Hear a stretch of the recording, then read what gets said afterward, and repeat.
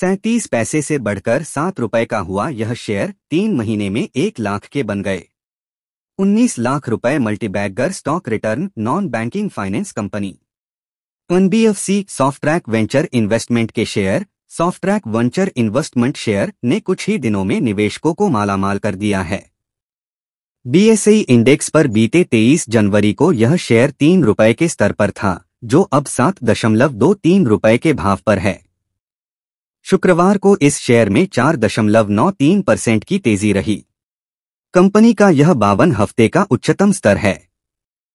वहीं शेयर ने नवंबर महीने में शून्य दशमलव तीन सात रुपए के स्तर को टच किया था, जो बावन हफ़्ते का निचला स्तर है।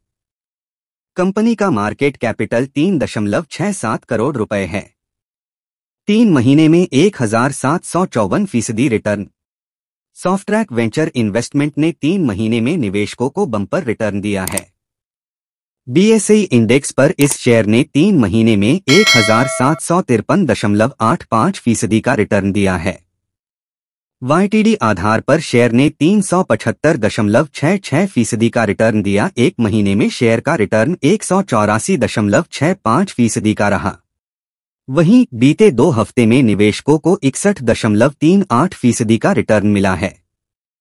कैसे थे तिमाही नतीजे? हाल ही में सॉफ्टट्रैक वेंचर इन्वेस्टमेंट ने दिसंबर तिमाही के नतीजे जारी किए थे। ऑपरेशन से कंपनी का रेवेन्यू दो करोड़ रुपए रहा तो प्रॉफिट उनतीस लाख की थी। इस तिमाही में कुल खर्चे एक दशमलव चार एक करोड़ रुपए के हैं।